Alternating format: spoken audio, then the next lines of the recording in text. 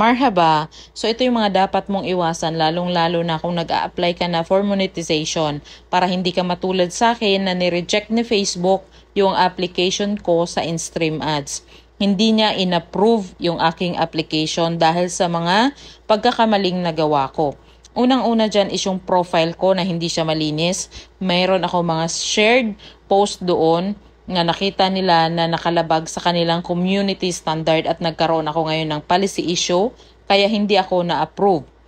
Pangalawa is yung napasobra ako ng comment, napasobra ako ng follow back, napasobra ako ng react, kahit tama naman yung paggagawa ko ng engagement sa mga kapwa ko content creator, pero wala pong time interval yung aking uh, pag-engage sa kanila kaya po ako na flag in behavior. Occasion lang po, hindi ko po sinasabi na bawal kang mag-comment or bawal kang makipag-engage sa kapwa mo content creator. Ang sinasabi ko is maglagay ka ng time interval sa bawat comment at engage na gagawin mo. Ito yung pinaka-importante guys na sasabihin ko sa inyo. Bago kayo mag-apply for monetization, siguraduhin yung malinis parehas yung profile account ninyo at saka yung page ninyo. I-make sure nyo na walang community standard na nalabag yung inyong profile at saka inyong page.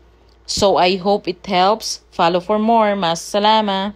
Marhaba. So may mga nagtatanong sa akin kung wala na ba daw talagang chance na ma-monetize ulit kung sakaling na-reject yung unang application mo sa in-stream ads.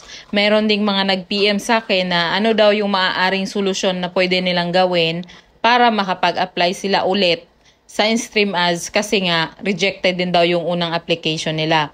So yung i-share ko sa inyo guys is based lang to sa experience ko nung ni-reject ni Facebook yung aking uh, application. Once na na-receive nyo na, na-rejected kayo sa unang application ninyo, yung gagawin nyo guys is linisin nyo yung violation nyo, kung saan kayo nagkaroon ng violation, kung sa profile nyo ba or sa page ninyo.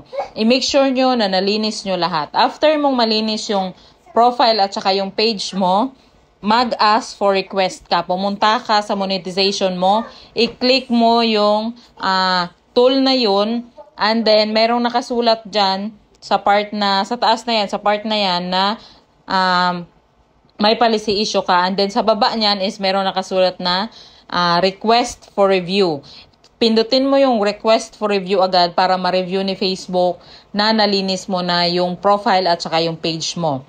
After mong maka-request niyan for review, hayaan mo lang siya mga siguro 24 hours yung pinakamatagal. Pero yung in my case, uh, nag-request for review ako umaga, 8 a.m. yon Tapos uh, afternoon, chinek ko, wala na yung uh, policy issue ko. Hindi ka makaka-receive ng any email or notification na nawala na yung policy issue mo, ang gagawin mo is i-check mo siya every after one hour kung nawala na ba siya or andyan pa rin para malaman mo kung uh, natanggal na ba yung uh, policy issue mo.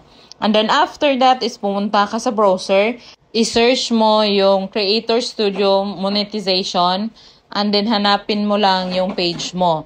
Pagdating mo sa page mo, i-click mo yung uh, view criteria After that is i-click mo lang yung learn more.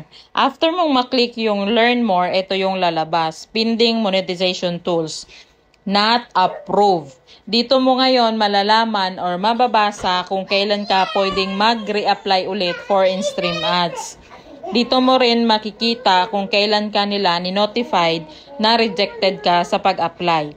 So yun guys, yung solusyon na ginawa ko. Sana nakatulong. Waiting ako until June 22 2023 para makapag-apply ako ulit. A little advice habang nag-aantay tayo ng petsa kung pwede tayong, kung kailan tayo pwedeng mag-reapply, i-make sure natin na hindi tayo nakalabag sa community standard ni Facebook para pag reapply natin ulit is ma-approve na tayo. I-make sure natin na nag-upload din tayo daily sa Reels at saka sa mga longer video. So I hope it helps. Follow for more. Mas